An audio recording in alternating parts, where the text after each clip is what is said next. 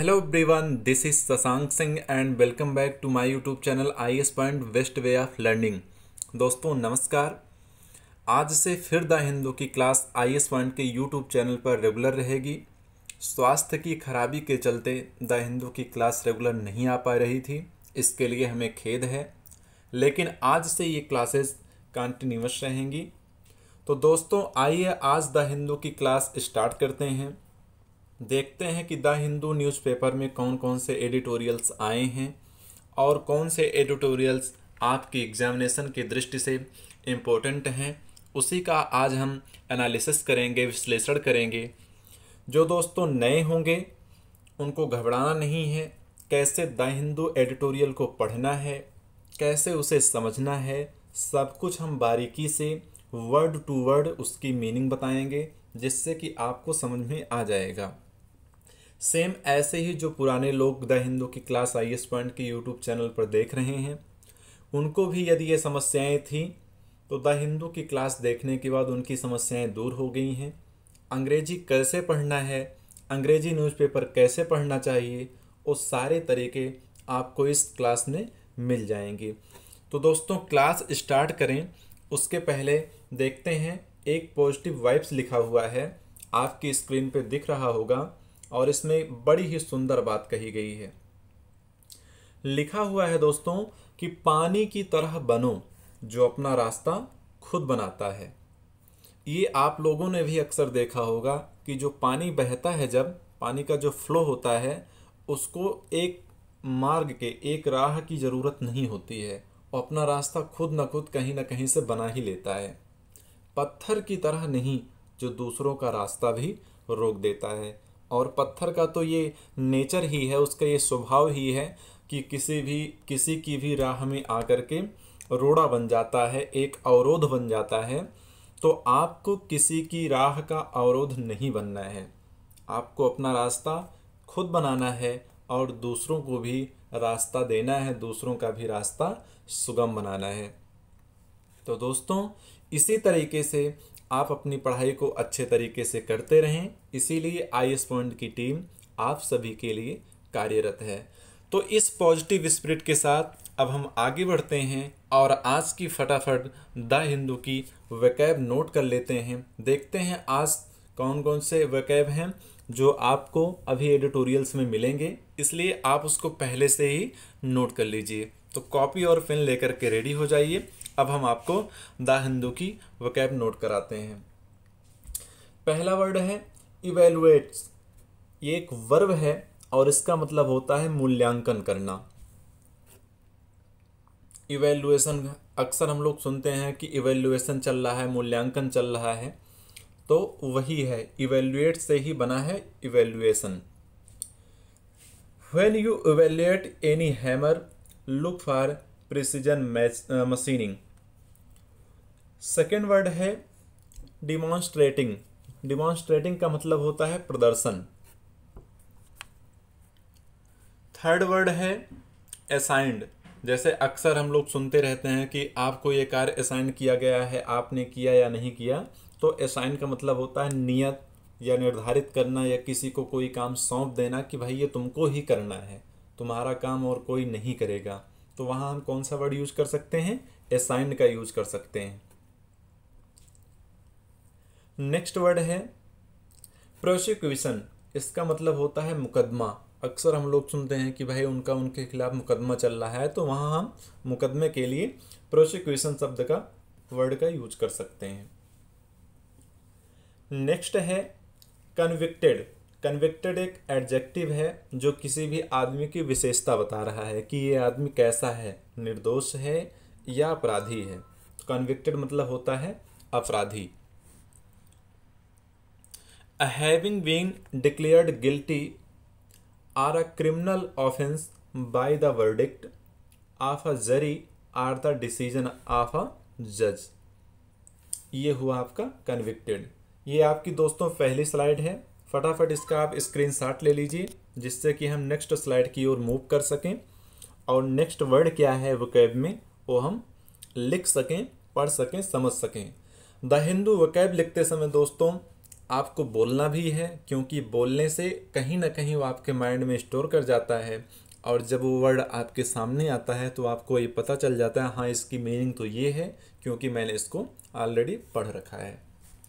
तो हो गया दोस्तों, जितने भी लोग इस सेशन को देख रहे हैं, फटाफट एक एक लाइक तो दे दीजिए और जो भी आई एस पॉइंट के यूट्यूब चैनल को सब्सक्राइब नहीं किए हैं आई एस पॉइंट के यूट्यूब चैनल को सब्सक्राइब ज़रूर करें और बेल आइकन को प्रेस करना ना भूलें, जिससे कि आई एस पॉइंट के यूट्यूब चैनल पर अपलोड होने वाली वीडियो की पहली सूचना आप तक अविलंब पहुँच सके। आइए दोस्तों, अब आगे बढ़ते हैं। और देखते हैं कि नेक्स्ट वर्ड क्या है। नेक्स्ट वर्ड लिखा हुआ है क्रेडिबिलिटी क्रेडिबिलिटी का मतलब होता है विश्वसनीयता। एक ट्रस्ट हम कह सकते हैं। यह एक नाउन है। आई टी वाई लास्ट में आया है। The quality of being trusted and believed in किसी पर ट्रस्ट करना, किसी पर बिलीव करना क्रेडिबिलिटी कहलाती है। नेक्स्ट वर्ड है एक्यूजेशंस इसका मतलब होता है आरोप। एक दूसरे के ऊपर आरोप लगाना कि हाँ तुमने ये काम किया है। जबकि वो काम ना किया हो, फिर भी, या किया है तब भी। तो आरोप प्रत्यारोप लगाना क्या कहलाता है?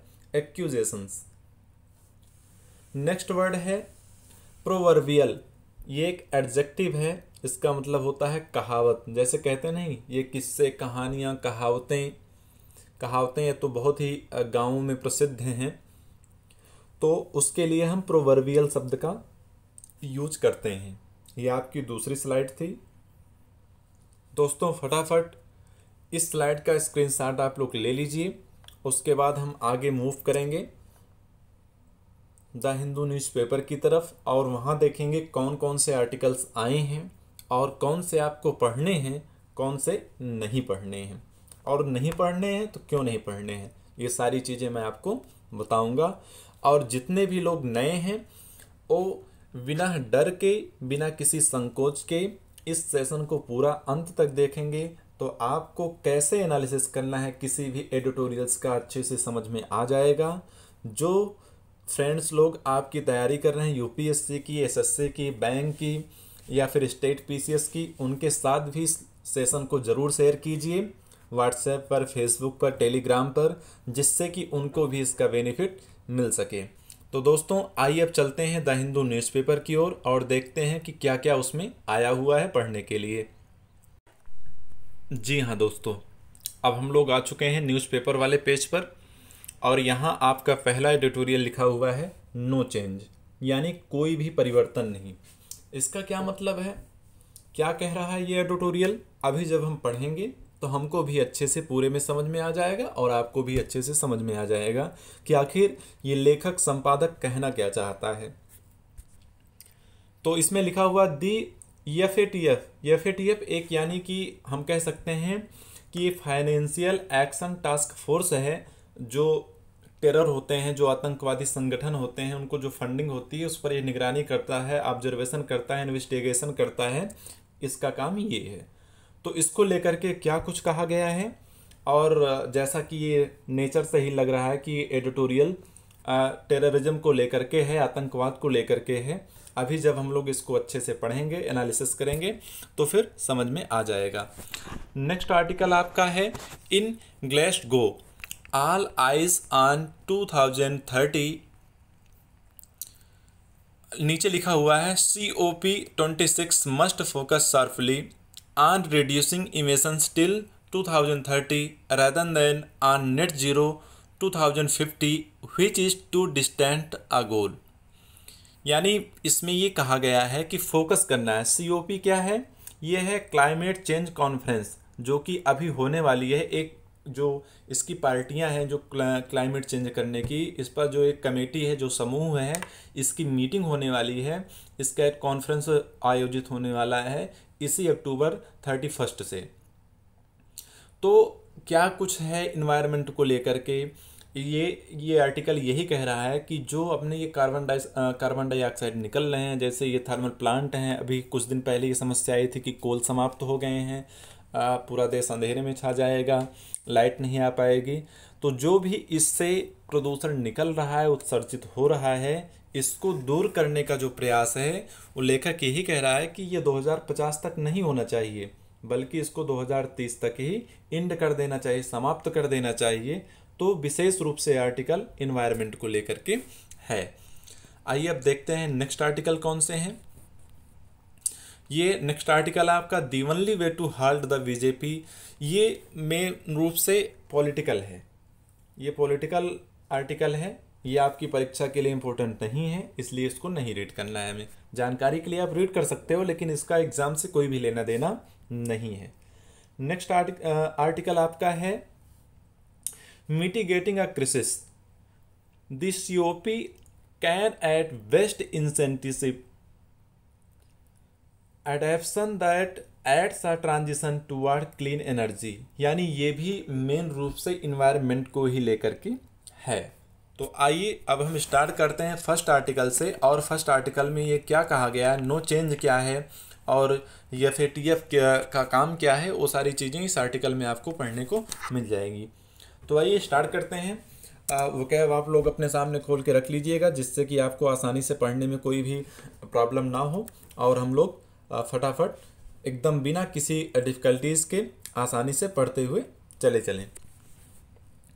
जी हाँ दोस्तों, लिखा हुआ the F A T F must ensure that the investigation of Pakistan comes to an effective conclusion soon इसमें ऐसा कोई भी वर्ड नहीं होगा जिसकी मीनिंग आपको नहीं पता होगी। मस्ट मतलब चाहिए इंश्योर मतलब सुनिश्चित इन्वेस्टिगेशन मतलब होता है जाँच।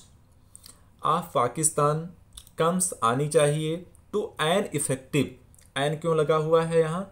क्योंकि ये जो अपना वोवेल्स होते हैं ए ई आई ओ यू इनके सामने, यानी इनकी जो शुरुआत होती है, इससे पहले हम एक के लिए ए नहीं लगाते हैं एन का ही यूज़ करते हैं। इसलिए देखिए इफ़ेक्टिव तो इसमें ई आया है, जो कि वावेल से है, इसलिए यहाँ एन का यूज़ हुआ है। तो समझ में आ गया होगा दोस्तों। इफ़ेक्टिव मतलब प्रभावी। कंक्लूजन मतलब होता है निष्कर्ष। किसी भी चीज़ का, किसी भी मुद्दे का आखिरी पड़ाव तक पहुँचना कि हाँ ये मैटर था और इसका ये निष्कर्ष निकला हुआ, इसका ये कंक्लूजन है। सून मतलब होता है जल्दी। तो इसमें एक एक वर्ड की आपको मीनिंग पता है। इसलिए इसको पढ़ने में और आसानी है। तो ये आर्टिकल यही कह रहा है कि the F A T F F A T F का मतलब मैंने आपको बताया इसका फुल फॉर्म होता है फाइनेंशियल एक्शन टास्क फोर्स जैसा कि नीचे लिखा भी हुआ है। किसको इंश्योर करना मस्ट इंश्योर ये सुनिश्चित करना चाहिए किसे? या फिर टी एफ़ को that the investigation of Pakistan जो पाकिस्तान के अगेंस्ट इन्वेस्टिगेशन चल रही है खोजबीन चल रही, जाँच चल रही है comes to an effective comes मतलब आनी चाहिए to an effective conclusion soon एक प्रभावी निष्कर्ष पे जल्द ही जल्द पहुंचनी चाहिए। ये सुनिश्चित किसे करना है? FATF को। फाइनेंशियल एक्शन टास्क फोर्स को ये सुनिश्चित करना है कि पाकिस्तान के खिलाफ जो भी जाँच चल रही है, वो जल्द से जल्द एक प्रभावी निष्कर्ष पर पहुंचनी चाहिए, प्रभावी निष्कर्ष तक आनी चाहिए। तो दोस्तों, ऐसे ही आसानी से हम आपको पढ़ाएँगे। बिना किसी हेजिटेशन के आपको पढ़ते रहना है, हँसते रहना जब भी आप पढ़िए तो हंस करके पढ़िए। हँसते हुए एक प्रसन्न मुद्रा में पढ़िए क्योंकि कहा जाता है कि जब किसी काम की शुरुआत प्रसन्न होकर के करते हैं तो निश्चित ही उस काम में हमें सफलता मिलती है। इसलिए आपको भी हँसते रहना है। आइए, अब हम स्टार्ट करते हैं और आगे बढ़ते हैं। क्या कुछ है? पढ़ेंगे। In a repetitions of its decision over the past three years the Financial Action Task Force FATF said that members of the 39 member grouping voted to retain Pakistan on its grey list of jurisdictions under in under increased monitoring in repetitions यानी कि पुनरावृत्ति अगर हम इसको कह सकते हैं repetition मतलब ऑफ़ इट्स डिसीज़न उसका जो निर्णय है उसकी पुनरावृत्ति उसको दोहराए हुए over the past three years जो तीन साल पहले का निर्णय था, उसकी पुनरावृत्ति में the Financial Action Task Force said, उसने कहा एफ़ ने कहा that members of thirty nine member grouping जो उनतालीस सदस्यों का एक समूह था ग्रुप था, उसने वोटेड वोट किया है, मत दिया है टू रिटेन पाकिस्तान, यानी पाकिस्तान को रखा जाना चाहिए on its grey list grey list में ही रखा जाना चाहिए। ऐसा कुछ जो उनतालीस सदस्यों की एक समूह थी, कमेटी थी, उसने ऐसा कुछ कहा है।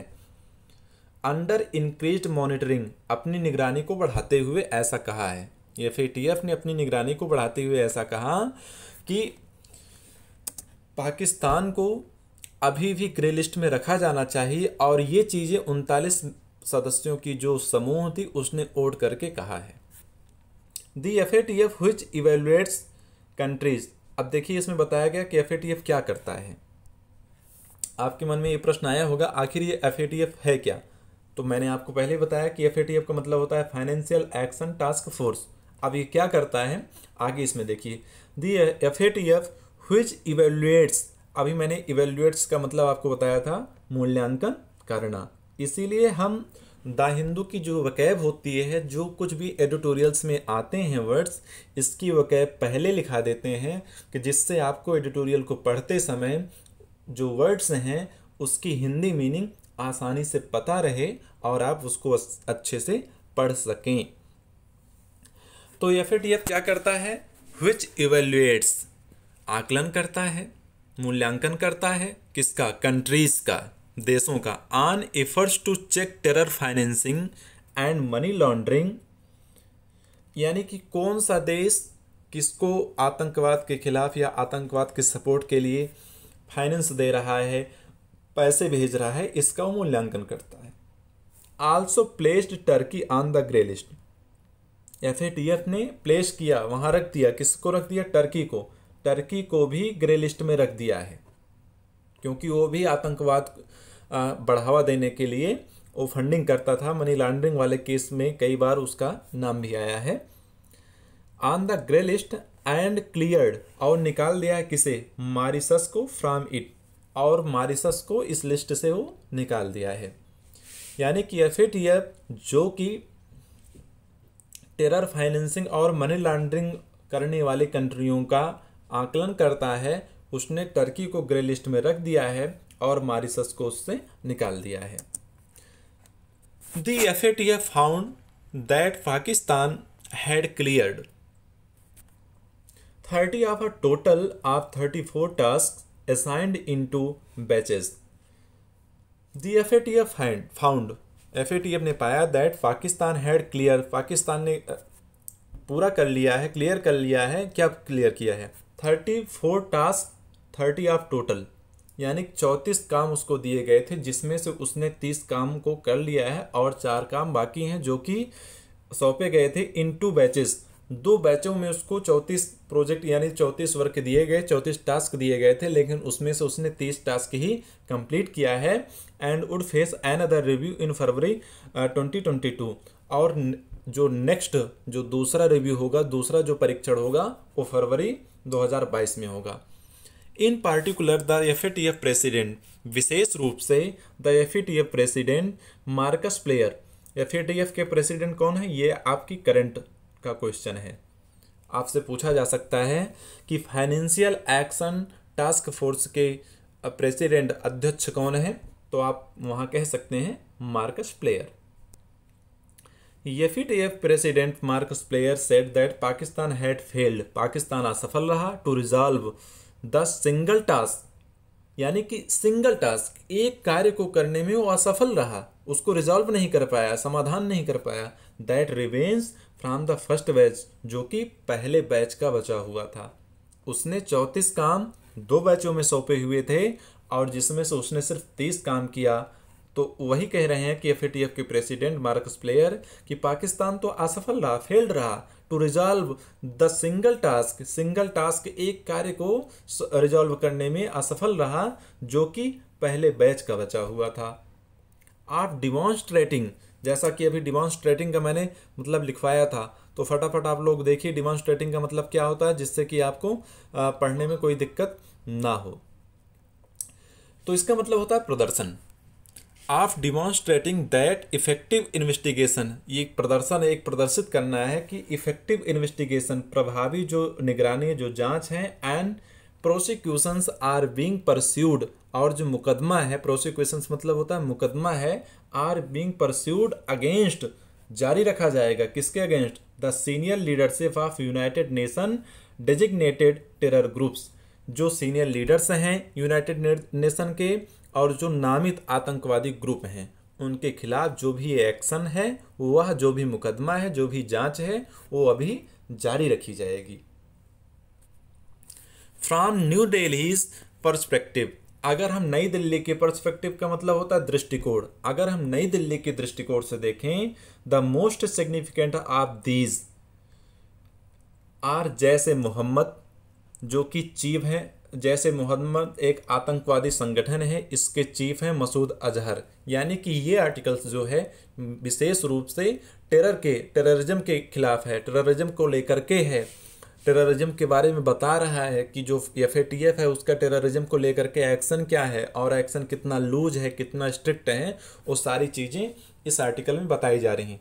जैसा कि आप लोग न्यूज़ चैनल्स भी देखते होंगे तो प्रधानमंत्री जो हमारे देश के हैं, नरेंद्र मोदी जी, जहाँ कहीं जिस भी कंट्री में जाते हैं, वो आतंकवाद को लेकर के मुद्दा ज़रूर उठाते हैं, क्योंकि आतंकवाद किसी एक देश की नहीं, अपितु संपूर्ण मानव जाति के लिए एक खतरा मंडरा रहा है, एक बहुत बड़ा खतरा है। तो अगर हम नई दिल्ली के दृष्टिकोण से देखें, जो मोस्ट सिग्निफिकेंट हैं, वो कौन कौन से हैं? जैसा मोहम्मद। एक आतंकवादी संगठन है, जिसका जो चीफ है, जो मुखिया है, उसको हम कह सकते हैं मसूद अजहर है। लश्कर ए तोयबा, इसका जो चीफ है, वो है Hafiz Saeed, Dawood Ibrahim and other command and control chiefs और जो मुख्य उसके कंट्रोल के अधिकारी हैं, आठ टेरर ग्रुप्स आतंकवादी समूहों के दैट टारगेट वो टारगेट इंडिया को ही करते हैं। इनके टारगेट पे ही इंडिया रहता है, कभी जम्मू कश्मीर में हमला करेंगे तो कभी आ, सुनने में आता है छब्बीस जनवरी की तैयारी हो रही उस पर आतंकवादी संगठन हमला करने के डेली आए हुए हैं। तो इन लोगों का जो ग्रुप है टेरर ग्रुप्स है इनके टारगेट पे हमेशा इंडिया ही रहता है। That have yet to be brought to justice जिसके लिए एक जस्टिस होना चाहिए एक निर्णय आना चाहिए for the twenty six eleven जैसा कि आप लोगों को पता होगा छब्बीस ग्यारह का जो मुंबई में हमला हुआ था 2008 में एक I C eight fourteen hijack हुआ था उन्नीस सौ नाइनटीन नाइन्टी नाइन में। उन्नीस सौ निन्यानवे एक विमान को कान उन्होंने कांधार में हाई जैक कर लिया था आतंकवादियों ने। एंड सेवरल मेजर अटैक्स, और इससे भी बड़े बड़े अटैक्स हुए हैं। And bombing in Jammu and Kashmir, और जम्मू और कश्मीर में तो बमबारी हमेशा चलती ही रहती है। ये सारे जो अटैक हैं इंडिया के ऊपर टेरर ग्रुप्स के, इसके खिलाफ भी एक्शन होना चाहिए। इट इज़ इंडीड डिसअपॉइंटिंग यह वास्तव में निराशाजनक है। That the increase monitoring by the F A T F of Pakistan जो एफ़ ए टी एफ़ की पाकिस्तान पर निगरानी है, यह वास्तव में एक निराशाजनक है। क्योंकि अगर सही रूप से निगरानी होती तो जो इंडिया में ये टेरर का अटैक हो रहा है, ये चीज़ें ना होती। ये दर्शाता है कि एफ़ कहीं ना कहीं लूजर है इसमें।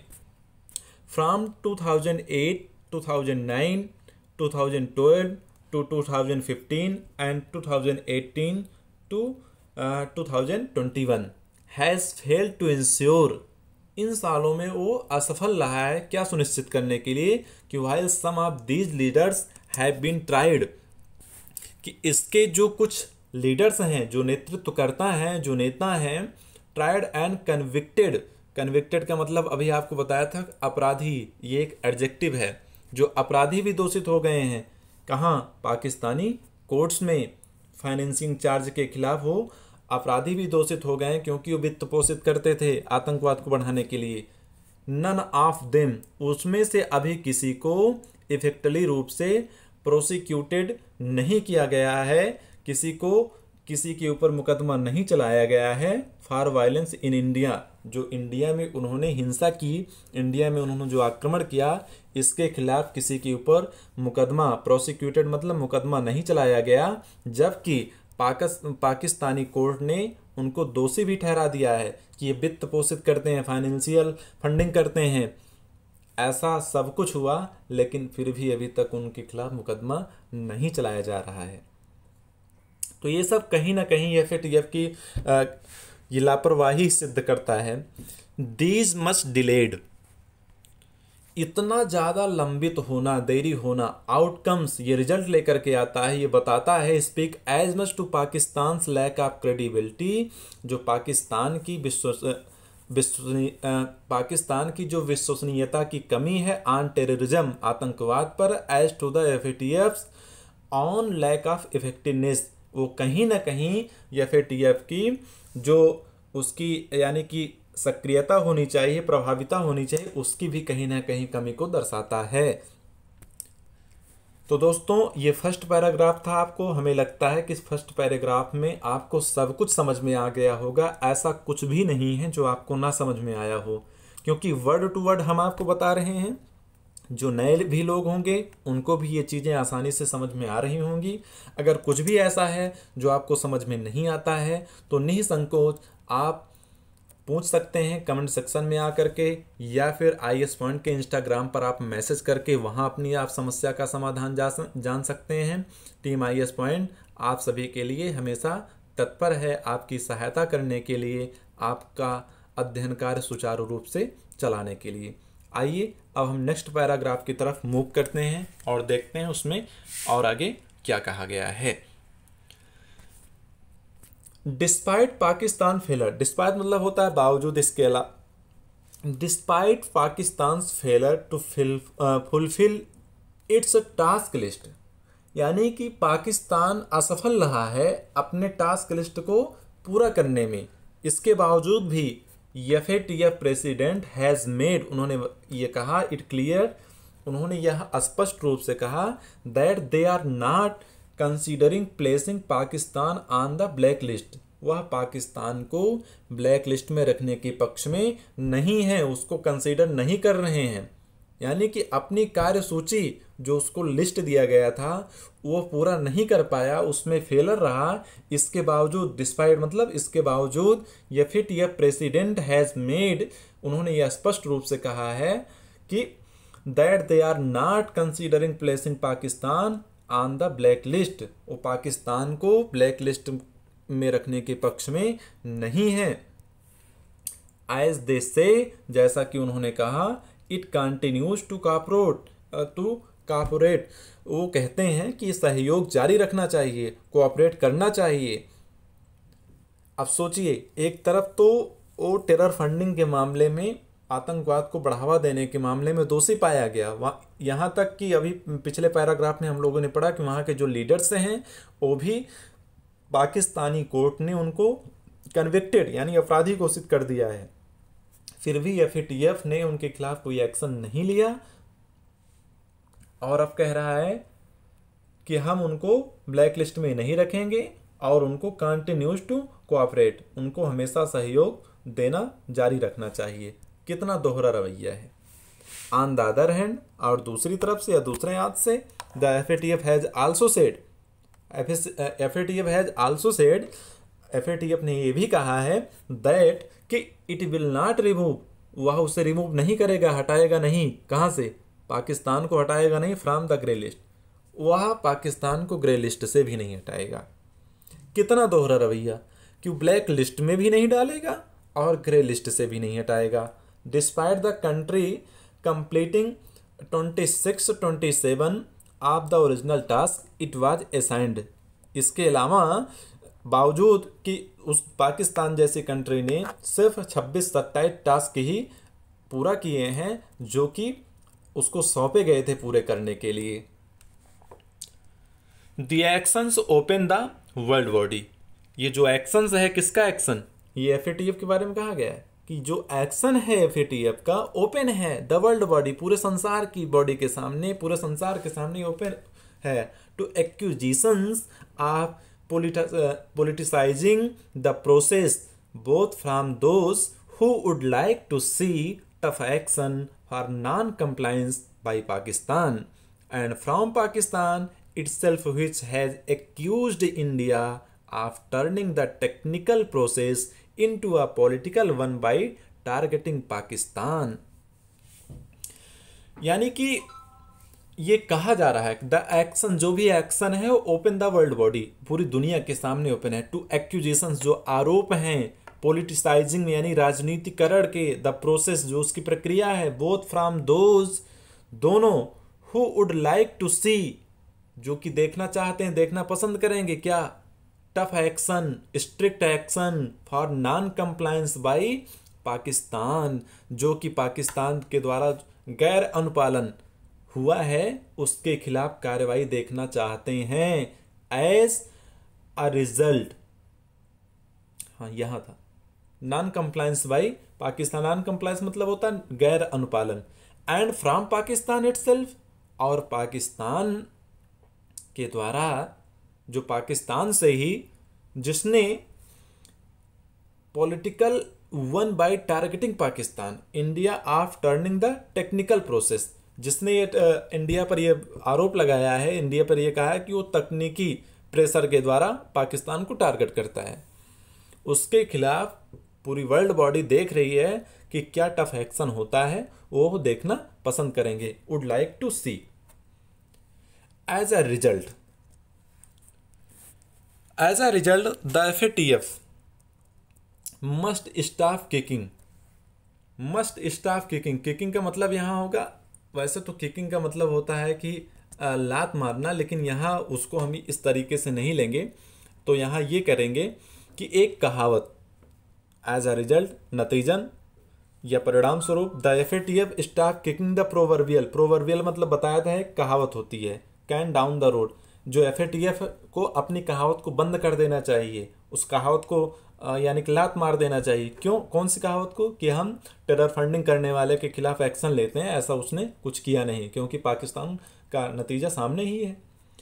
It must ensure that that the investigation of Pakistan is not an open ended process it must ensure यह सुनिश्चित किया जाना चाहिए दैट द इन्वेस्टिगेशन की जो खोज, जो छानबीन चल रही है, जो जाँच चल रही है, आप पाकिस्तान पाकिस्तान की इज़ नॉट नहीं है एन ओपन इंडेड प्रोसेस एक खुली प्रक्रिया, जो पाकिस्तान के खिलाफ जाँच चल रही है, पाकिस्तान की जाँच चल रही है, वह एक खुली प्रक्रिया नहीं है, यह सुनिश्चित किया जाना चाहिए and is brought to a credible and effective conclusion at the earliest and it brought to और ये होना चाहिए, लाया जाना चाहिए आ क्रेडिबल यानी विश्वसनीय एंड इफ़ेक्टिव और प्रभावी निष्कर्ष एट द अर्लीस्ट जितना जल्दी हो सके, उतना जल्दी इसका एक विश्वसनीय और प्रभावी निष्कर्ष आना चाहिए, लाना चाहिए। In light of the developments in Afghanistan अगर हम अफगान, अफ़गानिस्तान के डेवलपमेंट में देखें and concern over the growth of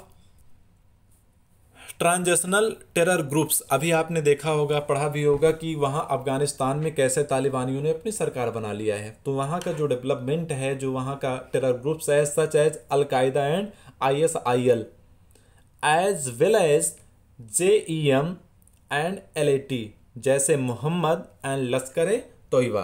Taking advantage of the Taliban take over Taliban को टेक ओवर कर ही लिया है। To build new safe havens and financing network build करने के लिए, बनाने के लिए new safe havens new safe havens and financing network यानी कि आतंकवादी समूहों को फंडिंग देने के लिए, इसका निर्माण करने के लिए वो एक साथ हो रहे हैं।